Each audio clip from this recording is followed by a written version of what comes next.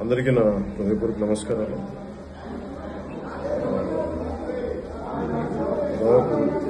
నూట నూట పదిహేను మంది పైగా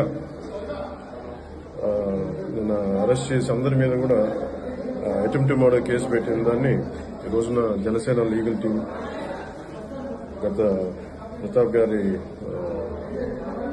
నాయకత్వం లీగల్ టీం అందరూ కూర్చోబెట్టి నిన్న దాదాపు ఒక మొన్న రాత్రి నుంచి ఈ రోజు దాకా చాలా కష్టపడి ఆ, స్టేషన్ బెయిల్ దాదాపు అరవై డెబ్బై మందికి తీసుకొచ్చి మిగతా పది పన్నెండు మందికి ఈ రోజున రిమాండ్లో పంపించారు వాళ్ళకు కూడా బెయిల్ ఇచ్చే ఏర్పాట్లు చేస్తా ఉన్నాం.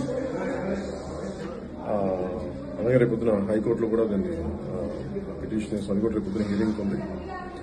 అలాగే కాబట్టి నేను బయటికి ఇది ప్రత్యేకించి ఆ, గొడవ అంతా కూడా ప్రభుత్వం మీద పోరాటం తప్ప ఇది పోలీస్ వ్యవస్థ మీద పోరాటం కాదనేది కూడా నేను ఈ సందర్భంగా మనస్ఫూర్తిగా తెలియజేస్తాను. అలాగే నాకు బయటికి చాలా మంది వెయిట్ చేస్తా ఉన్నారు. వాళ్ళందరికీ కూడా అభివాదం చేయడానికి కూడా నాకు ఈ ప్రభుత్వం నాకు ఆంక్షలు విధించింది కాబట్టి నేను బయట అందరికీ నమస్కారాలు చెప్పలేకపోతే అది వైసీపీ ప్రభుత్వం విధించిన ఆంక్షల వల్ల నేను మీరు చేసే అభివాదానికి నేను ప్రతి అభివాదం చేయలేని పరిస్థితి